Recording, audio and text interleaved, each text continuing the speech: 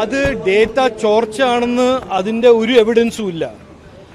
ഇന്നലെ CERT investigate ചെയ്തിട്ട് very clearly clarify ചെയ്തിട്ടുണ്ട്.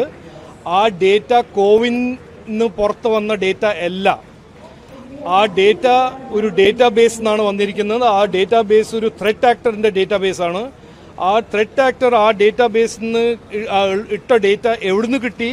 അതിന്റെ ഇൻവെസ്റ്റിഗേഷൻ സർട്ട് ചെയ്യുന്നുണ്ട് but it is certainly one hundred percent not from CoWIN അത് ഞാൻ വ്യക്തമായിട്ട് ക്ലാരിഫൈ ചെയ്യുന്നുണ്ട്.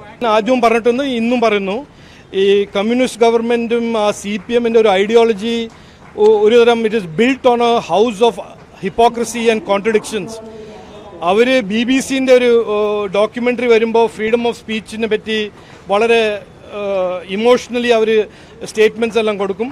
ഇവിടുത്തെ ജേർണലിസ്റ്റ് ഇവിടുത്തെ ജേർണലിസ്റ്റ് എന്തെങ്കിലും റിപ്പോർട്ട് ചെയ്യുമ്പോൾ freedom of speech suddenly becomes a Marxian concept അവർ മറക്കുന്നു. ആ ഇപ്പോക്രസി താങ്കളൊന്ന് റിപ്പീറ്റ് ചെയ്തിട്ട് എക്സ്പോസ് ചെയ്യൂ.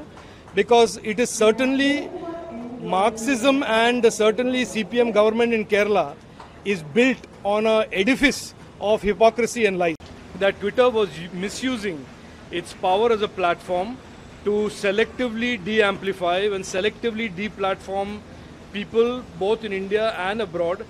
In India, it was a direct violation of Article 14 and Article 19 of our Constitution. Our government has always maintained that any platform, whether that be Twitter or any other platform in India, has to protect every Indian citizen's fundamental rights, Article 14, 19, and 21, and has to be in compliance with Indian law.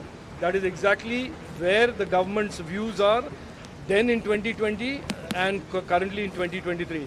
So I am deeply disappointed by Jack Dorsey's attempt at uh, lying about what happened because certainly whatever he has said in yesterday's statement is untrue and is false.